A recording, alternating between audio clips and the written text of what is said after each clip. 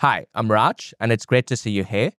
Open source apps are pretty hard to learn from because they're usually built by multiple people and are often too large to get into.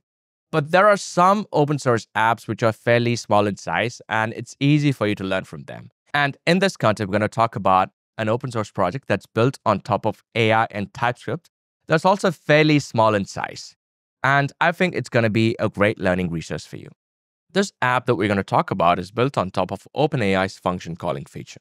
So before we jump into the project, let me give you a brief about function calling feature and what you can do with it. Function calling is kind of like an agent-based LLM implementation, and instead of making an LLM do a simple text generation, we incorporate tools or functions into its workflow. So if a function calling is enabled, you essentially pass a series of function definitions and descriptions as part of the input token in your LLM API call. And when it's time to call a function or a series of functions, the LLM responds with the JSON data of the function name and the arguments it needs to pass inside the function. And these functions run on our server and return the output of the function callback back to LLM. And using this output, it will either go forward to call the next function or give us a text answer. Also, these functions could technically have access to all the resources that our servers have access to. For example, if you go to the OpenAI's Node.js package, there is a section called automated function calling. And here you can see that we have two functions called get current location and get weather, defined as part of the input tools of the API.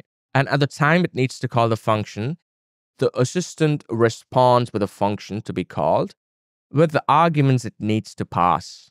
And this function runs on a Node.js server, and the output value of this function call is returned back to the LLM. And then it uses the return value as an argument to call the next function in the sequence.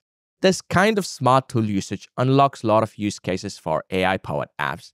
And one such open source app that's built on top of function calling feature and TypeScript is called Auto Playwright. At first glance, it might look like a big open source project, but in fact, it's a fairly small open source project that is super easy to understand. First, let's quickly understand what's Playwright. Playwright is an end to end testing library that allows you to test your app like a user would test your app by running it on a browser. And it comes with two important APIs Page and Locator. The page carries the instance of the browser, and locators are APIs to find your DOM elements on the page using DOM selectors on the page. These two APIs are the backbone of Playwright. For example, when you write a test, you would do something like this, where you locate the element using a specific selector and perform actions on top of it. And Auto Playwright removes this conventional page locator and selector combination and does all the work for you. Instead of writing this yourself, you call an API called Auto and pass the instruction along with the page and the test instances. And the AI will complete the instruction for you. So, how does it work? When you use Auto API and pass instructions along with the page, we get a snapshot of the page and pass that as part of the input prompt. And along with the input, we also pass a series of functions to create the locators and perform actions on the locators.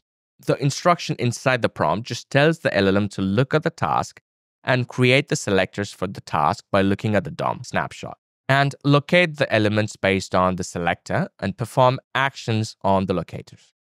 These functions work together so well because they have access to the instance of the current page or the current browser state and also the memory of the located elements inside the locator map. For example, if we tell it to click on a submit button, first it will create a selector by looking at the DOM snapshot of the page and then it will use the locate element function and pass the CSS selector as an argument and create a random UUID and also create locator inside the locator map and return the element's ID.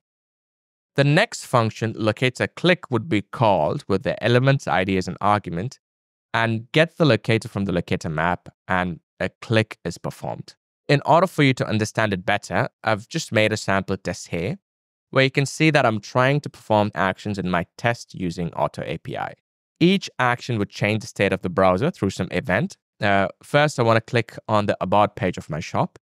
And then I want to add a pair of socks to the shopping cart. And then I want to click on the shopping cart. And finally, I want to check if I have items in my shopping cart. If I run it, you can see that it runs all the tests one by one. The red dot implies that it's being clicked. And once done, we get the information that the test is passed. As you can see, we ran the auto API three times. And also every time it chose to call a specific function or functions based on the state of the browser, or in Playwright's terms, the page. At the last auto call, it ran a request query function in order to get value for the assertion. I will also add the sample test in the description below. You can play around with the code and let me know what you think. If you learn the code base of AutoPlaywright, I think it'd be easy for you to build tools like smart data collectors and data scrapers. And also, you will learn how to add tools to your AI and give them ability to access the resources on your service. Thanks for watching. If you liked the video, please leave a like and subscribe for more, and I will talk to you soon.